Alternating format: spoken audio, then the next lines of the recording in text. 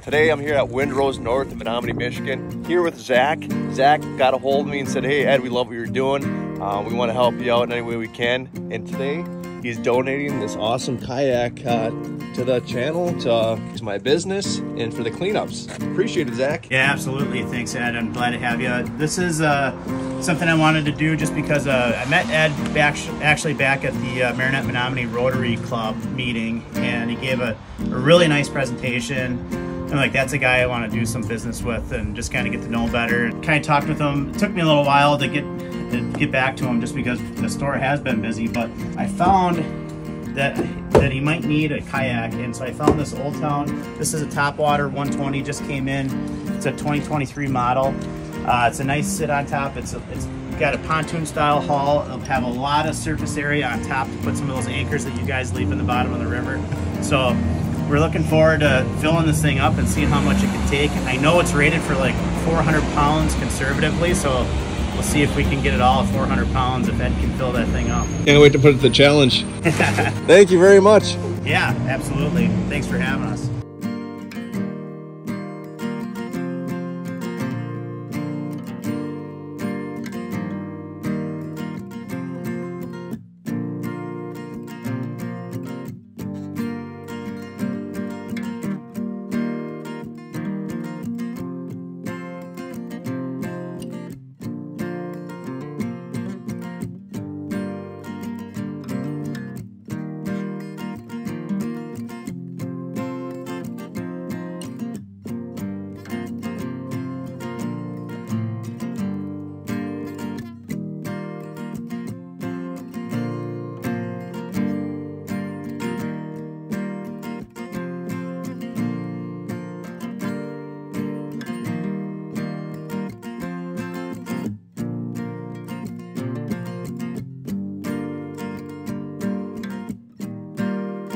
This is probably one of my favorite spots right back here.